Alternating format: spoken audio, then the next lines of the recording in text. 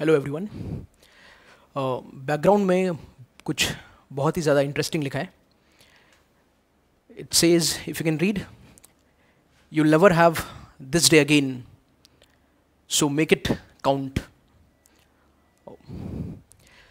myself Salim Shaikh I welcome you all to our channel adaptive learning आज जो topic हम करने वाले हैं, इस टॉपिक के अंदर कुछ ऐसे लोग हैं, कुछ ऐसे साइंटिस्ट हैं, जिनका बिलीव बिल्कुल जैसा ये सेइंग है, वैसे उनका बिलीव था।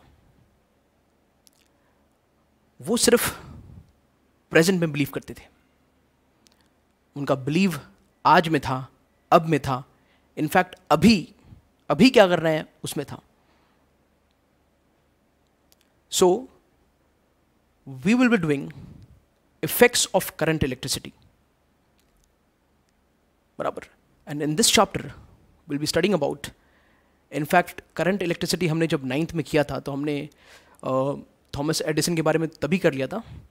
लेकिन आज ये चैप्टर में हम लोग बात करेंगे जेम्स प्रेस्कॉट जूल्स की हम हैंस क्रिस्टिन ऑयस्टर्ड की बात करेंगे हम माइकल फेरेडी की बात करेंगे और साथ ही साथ हम एडिसन की बात करेंगे। तो ये चैप्टर में हम इन चार लोगों के बारे में बात करने वाले हैं। इन इनके लॉज उसे जानने वाले हैं। इनके थियोरीज़ को जानने वाले हैं हम। जिनका कुल मिला के बिलीव जो था, वो प्रेजेंट में था। तभी तो इनका फ्यूचर इतना ब्राइट बना। इन लोगों के बारे में बात करना एक कारण से और भी ज़रूरी है। वो कारण ये है कि इनसे पहले लोग जो थे, वो अंधेरे से डरते थे। इनके आने से पहले लोग अंधेरे से डर जाते थे। बराबर। लेकिन आज आलम यह है कि लोग अंधेरे से नहीं, बल्कि बिजली के बिल से डर जाते हैं। और जो हालात और जो बिजली का बिल लॉकडाउन में आया है, बराबर। उसे देख के तो सिर्फ़ इंसान एक ही बात कह सकता है ऑल इज़ वेल खैर, ये तीन चार ग्रेट लोग जिनके बारे में हम पढ़ने वाले हैं, इन्होंने बहुत पहले ही एक मूवी देख ली थी, जिसका नाम था कल हो ना हो। इसलिए इनका जो बिलीव था, वो सिर्फ़ और सिर्फ़ प्रेजेंट में था। So let start with the actual chapter and let us first go and see कि जूल्स ने अपने लॉ में हमें क्या बताया था?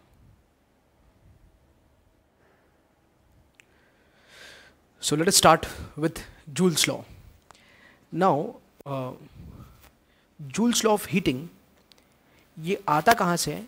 उस बात को पहले समझ लेते हैं हम लोग। तो जैसे ही सेल जब एनर्जी प्रोवाइड करना चालू करता है तो सर्किट में बराबर जो चार्ज है वो लगेंगे फ्लो होने। और जब चार्ज लगेगा फ्लो होने तो किसको आना है? तो 110 परसेंट करंट ने आना है। अब ये जो करंट है, ये करंट को मिलता है ऑपोजिशन और जहाँ जहाँ से फ्लो होता है ये करंट वहाँ वहाँ उसको मिलता है ऑपोजिशन इस ऑपोजिशन की वजह से जो करंट सफ़र करता है, इसकी वजह से there is heating in the wire and this give rise to heating effect जिसके बारे में हमें जूल्स ने बताया। और इस हीटिंग इफ़ेक्ट को, जो नॉर्मली नेगेटिव माना जाता है मतलब हीटिंग इफ़ेक्ट ज़्यादा मतलब जितना रुकावट होगा, जितना ज़्यादा रुकावट होगा, उतनी ज़्यादा मुश्किल होने वाली है करंट को फ्लो में। तो इसे एक नेगेटिव चीज़ माना जाता है करंट इलेक्ट्रिसिटी में। पर Joules was man of strong determination उन्होंने इस नेगेटिव को पॉजिटिव में कन्वर्ट कर दिया। बराबर? जिसकी वजह से आज जितने भी हीटिंग एलिमेंट्स हैं, जैसे आयन है, हमारा जो प्रेस होता है, बराबर? हमारे घर में ठंडी के टाइम पे बहुत इस्तेमाल होने वाला जो गीज़र्स होते हैं, बराबर? वो गर्म पानी करने वाला जो वाटर हीटर होता है। तो ऐसे जितने भी हमारे पास अप्लायंसेस हैं, जो हीटिंग इफ़ेक्ट पर बेस्ड है वो सब के सब ये लॉ पर बेस हो गया। ठीक है? तो ये काफ़ी इंटरेस्टिंग लॉ है और इसे पढ़ना और भी ज़्यादा इंटरेस्टिंग है। चलिए आगे देखते हैं हमें करना क्या है। तो यहाँ पर मैंने एक सर्किट बना लिया है। इस सर्किट को हमने ऑलरेडी नाइन्थ में बनाया था। ठीक है? इसमें आप देखोगे क्लियरली कि एक सेल है। बराबर? ये वाला जो पार्ट है, ये पार्ट सेल को रिप्रेजेंट कर रहा है। तो ये एक सेल है। ये क्लोज्ड की है। मतलब चाबी लगा है। करंट चालू होगा, कोई प्रॉब्लम नहीं होगा करंट को बहने में। ये जो मार्किंग मैंने किया है ये आए, ये करंट, ये सेल की वजह से ये करंट सर्किट में बह रहा है। बराबर from positive terminal to negative terminal ये जो पार्ट है, ये रेजिस्टर है। बराबर, एक हमने रेजिस्टर लगा कर रखा है। और ये हमारा टर्मिनल है ए और बी ए और बी के बीच में हमने रेजिस्टर लगा कर रखा है। ठीक है? अच्छा ये तो आए तो बाद में आया होगा। तो अब हम जान लेते हैं कि ये जो आय है ना, हमारा कहना ये है, ये जो आय है, ये आय बाद में आया होगा। ठीक है? आय बाद में आया होगा, इससे पहले क्या आया होगा? तो इससे पहले आया होगा क्यू। क्यू कौन है? हमारा चार्ज। बराबर? तो ये क्यू जब कुछ टाइम के लिए फ्लो हुआ रहेगा, तब जाके आया होगा सर्किट के अंदर करंट। तभी तो हमने नाइन्थ में पढ़ा था। क्या पढ़ा था हमने नाइन्थ में? कि current is equal to charge upon time current is ratio of charge and time आए बात सुन में? तो अब आगे हम कुछ बातें कर लेते हैं। तो हम ये बोलेंगे कि if q if charge q flows through the resistor.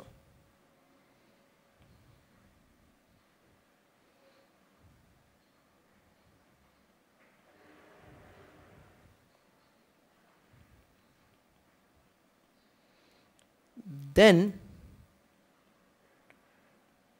electric power P is given by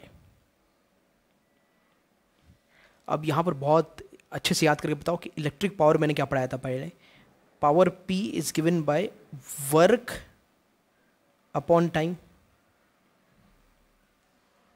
electric power is nothing but work upon time मतलब ये तो नॉर्मल पावर की बात कर लिया हमने। मैकेनिकल पावर की बात कर ली पावर है वर्क अपॉन टाइम तो इलेक्ट्रिकल पावर क्या होगा? Electrical work upon time electrical work जो होता है वो एनर्जी के टर्म्स में होता है। किसमें होता है? एनर्जी के टर्म्स में।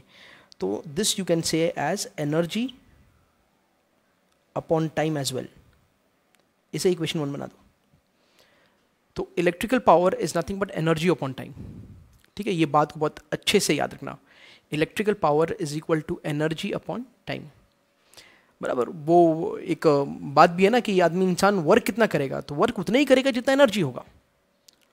तो वहाँ से भी हम ये कह सकते हैं कि जो वर्क एनर्जी है, ये दोनों सेम क्वांटिटी है। मतलब ये सिमिलर क्वांटिटी है। समझ में आ रहे हैं? Both energy and work are similar quantity इन दोनों का यूनिट भी सेम होता है जूल्स होता है। ठीक है? तो power equals to work upon time that is energy upon time अब नाइन से कुछ और बातें हमें जाननी है। ठीक है? क्या जानना है नाइन से? कि potential difference is equal to work upon charge ये हमने जाना था potential difference is equal to work upon charge potential difference का मतलब क्या? V is equal to W upon Q तो यहाँ से मुझे ये बताओ कि वर्क क्या होगा? W क्या होगा? W हो जाएगा v into Q W क्या हो जाएगा? V इंटू क्यू तो बिल्कुल बात वही है कि ये जो वर्क है, बराबर, ये जो वर्क है, ये उतना ही होगा जितना एनर्जी होगा। तो मैं ये कह सकता हूँ कि power equals to energy upon time P is equal to energy upon time बराबर? Where energy is the work done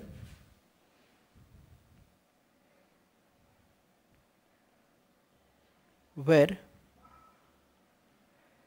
energy is the work done by cell to move charge q across resistor जहाँ पर energy कौन है? Energy वो work done है जो cell कर रहा है, जो काम सेल कर रहा है चार्ज क्यू को रेजिस्टर के अराउंड घुमाने के लिए पूरा, पूरे सर्किट में घुमाने के लिए। तो हम ये कहेंगे बाद में therefore P is equal to energy क्या हो गया बेटा? Work done energy is the work done work done क्या हो गया? V into Q work done क्या हो गया? यहाँ पर देखो. वर्क डन क्या हो गया? वी इंटू क्यू तो power is equal to V into Q और टाइम जो है बेटा टाइम वो क्या हो गया? टी हो गया. तो ये जो इक्वेशन वन है इक्वेशन वन में मैंने चीज़ों को रिप्लेस कर दिया. एनर्जी हो गया क्या? वी इंटू क्यू तो ये आ गया वी इंटू क्यू ये वाला पार्ट और टाइम क्या हो गया? टी तो आगे चल के हम लिख सकते हैं therefore P is equal to V into Q upon T अब नाइन से एक बात और याद करना है क्यू अपॉन टी क्या होता है? तो वहाँ से हमें पता है कि P is equal to V I क्योंकि Q अपॉन टी जो है, वही तो I है। तो ये बहुत ही बड़ा इंफॉर्मेटिव इंफॉर्मेशन हमें मिला कि P equals to V I तो ये जो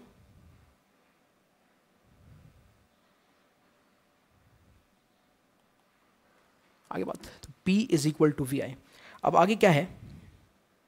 आगे हम ये कह सकते हैं the cell provides the energy to the resistor which is converted into heat energy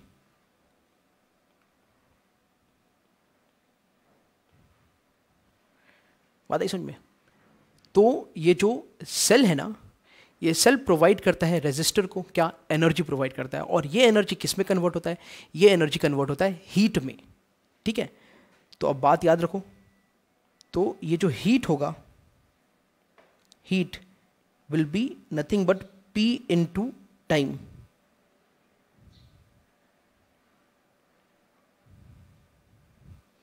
this heat will be nothing but P into time अब पी क्या होता है?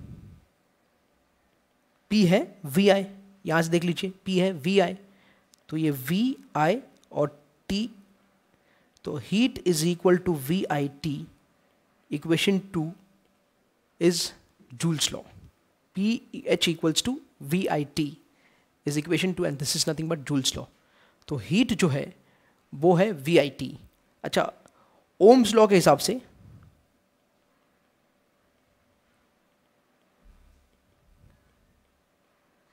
according to Ohm's law v equals to I R होता है। बराबर v equals to Iyer तो equation जो है, ये वाला जो इक्वेशन है हमारा, इसमें h की जगह h ले लिया, v के जगह अगर मैंने आई आर ले लिया, v के जगह अगर मैंने आई आर ले लिया तो ये आई स्क्वायर आर टी हो जाएगा। तो हीट का एक और इक्वेशन मिल गया। ठीक है? एक बात और है, इस इक्वेशन को हम एक और तरीके से लिख सकते हैं। हम लिख सकते हैं वी आई टी हो गया. H equals to V square T upon R अगर हमने आई को वी अपॉन आर ले लिया तो. ठीक है ओम्स लॉ में अगर आपने आई को वी अपॉन आर ले लिया तो ये इक्वेशन में आई के जगह वी अपॉन आर ले लिया तो ये क्या हो जाएगा? V square R upon T समझ में आ गया? तो इस तरह से आपको जूल्स का तीन लॉ मिला। फिर से मैं बता दूँ H equals to V I T ये एक ओरिजिनल इक्वेशन है। इसके बाद एच की जगह एच वी की जगह क्या रह गया? आई आर और ये बाकी आई टी तो ये कैसा हो जाएगा? I square R T H equals to V I T तो वी के जगह वी रहने दिया। आई के जगह हमने ले लिया V upon R Ohm's law के हिसाब से V upon R into T तो ये हो जाएगा V square T upon R तो इस तरह से बना है तीन ओम्स का जूल्स का तीन इक्वेशन यूजिंग ओम्स लॉ तो जूल्स लॉ को अगर हमें समराइज करना है तो हम कैसे बोल सकते हैं? तो हम ऐसा कहेंगे दी अमाउंट ये वाला इक्वेशन में पकड़ के बोल रहा हूँ, ये वाला। और मैं क्या कह सकता हूँ? The amount of heat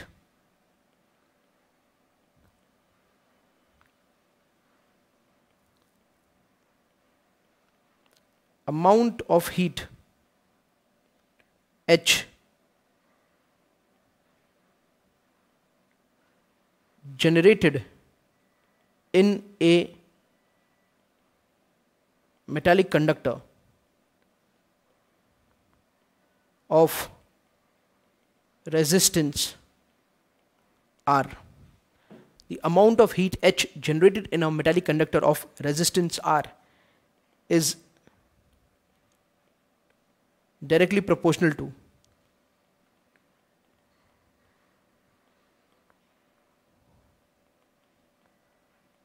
square of current ये स्क्वेयर ऑफ़ करंट करंट का square to resistance of resistance of conductor and three time for which the current flows time for which the current flows तो joules law को हमने summarise कर दिया। बराबर? Joule's law को हमने समराइज कर दिया कि जो हीट प्रोड्यूस होगा सर्किट के अंदर, वो डिपेंड करेगा कुछ बातों पर। बराबर? और वो कुछ बातें क्या हैं? कि कितने टाइम के लिए ये करंट बहने वाला है सर्किट में? उस सर्किट से जिसमें बह रहा है, उसका रेजिस्टेंस कितना है? बराबर? एंड करंट जो फ्लो हो रहा है, उसके स्क्वायर को। तो the square of the current current के स्क्वायर को डिपेंड करेगा। बराबर?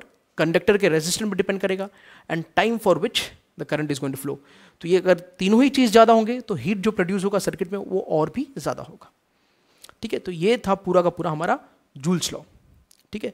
तो उसका स्टेटमेंट के साथ, उसके डेरिवेशन के साथ, ये पूरा मैंने आपको समझाया। ये होपफुली आपको समझ में आया होगा। तो इसे एक बार पूरा समराइज करते हैं हम लोग। तो this is the heating effect of current electricity part one Joule's law ठीक है